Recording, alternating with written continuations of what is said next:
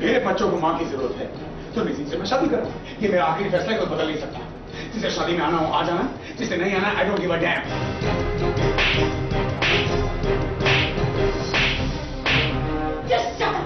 Raman को पड़ गया है जोरदार थप्पड़। शगुन ने मारा है रमन को चांटा। अब तक इशिता की अर्थी भी नहीं उठी थी। उसकी लाश भी नहीं मिली थी।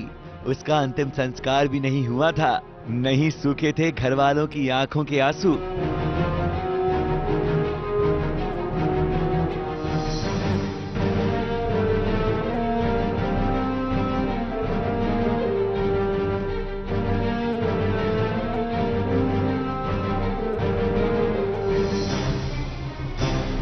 ये तो हमने कभी सपने में भी नहीं सोचा था कि हमारे परिवार में ऐसा हो जाएगा और खासकर ईशिता के साथ।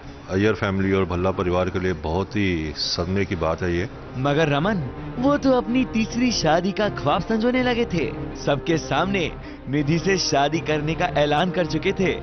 मैंने सिर्फ़ खोया है लेकिन अब मैं पाना चाहता हूँ। और ये खुशी मैं पाकर रहूँगा मैं और निधि शादी कर रही हूँ। ये मेरा आखिरी फैसला है, कोई बदल नहीं सकता।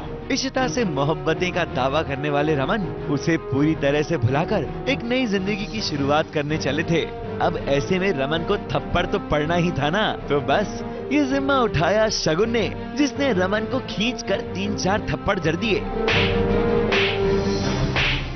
रमन आपकी ऐसी बातों पर यकीन नहीं होता। आप तो इशिता से बेनतहा मोहब्बत करते थे और आप दोनों की लव स्टोरी सबके लिए एक मिसाल थी।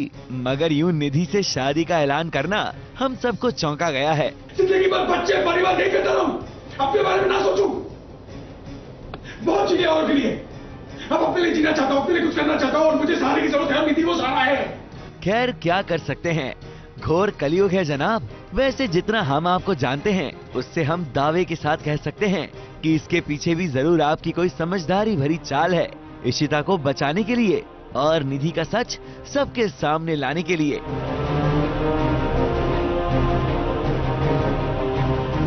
मुंबई से स्नेहा शर्मा के साथ एबीपी न्यूज़ रिपोर्ट